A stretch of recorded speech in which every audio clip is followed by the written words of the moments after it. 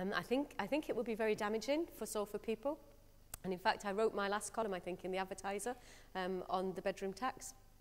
Um, and I, I think it will particularly affect places like ours Uh, because what, what the bedroom tax is basically saying is that if you live um, in a house where you get housing benefit and you're not a pensioner, so it doesn't affect pensioners, but if you're of working age um, and you get housing benefit, then if you've got what they call a spare room, um, then your housing benefit will be reduced, I think, by £15 a week. If you've got two spare rooms, £27 a week. Um, so you're going to have to find that money if you want to stay in, in your current property. Now, many people will have been in the current properties for, I don't know, 20, 25 years, might be where they brought the children up.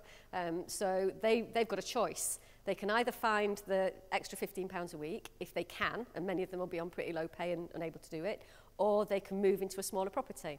Now, that might be feasible if we had a lot of one-bedroom flats in Salford. We have got hardly any um, one-bedroom flats other than the tower blocks, um, and even many of those are now um, taken because there's, I think, a 15,000 waiting list for um, social housing in the city. Um, so people don't really have a choice either to, to downsize into a one-bedroom flat, and that's happening all over the country. The other issue why I think it's particularly bad is that you know, if, if I think of a, an older married couple, perhaps in their 50s, early, early 60s, um, you know, they might, they might not be classed as disabled, they might not have a serious disability, but very often people might have trouble sleeping or they've, they've got, you know, um, difficulties in terms of, of how they get cared for.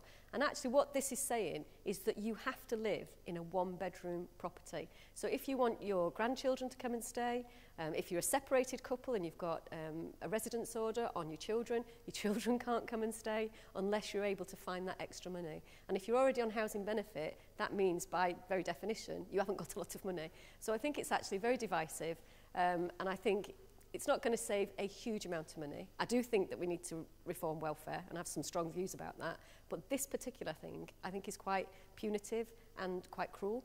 And already I'm getting lots and lots of people come to my surgery who are saying to me, Hazel, I can't find the £15 pounds a week. I don't want to move. All my friends and family are in the area. They're my support network. Um, City West or Salix can't offer me a one bedroom flat or a bungalow because they haven't got any.